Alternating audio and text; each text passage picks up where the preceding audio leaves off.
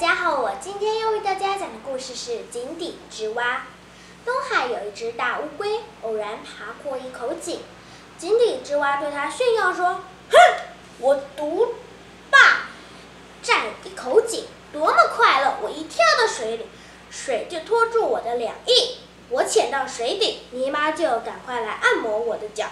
我不想待在井里。”就跳上来，到井边散步，累了就钻进井边的石缝中休息。我看到井里的一些小螃蟹、小蝌蚪都没有我快乐。怎么样？大海龟进来参观参观吗？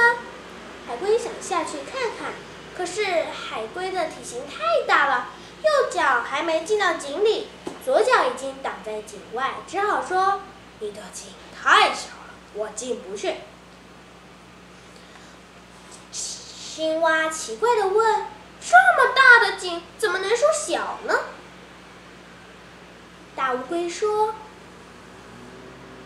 要说大，东海才大，千里之远不足以形容其大，千仞之高不足以形容其深。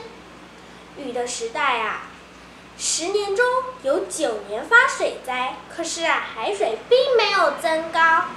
汤的时代。”八年中有七年闹旱灾，可是海水并没有减少，所以啊，像东海这样才叫大呢。今天故事讲到这里，谢谢大家。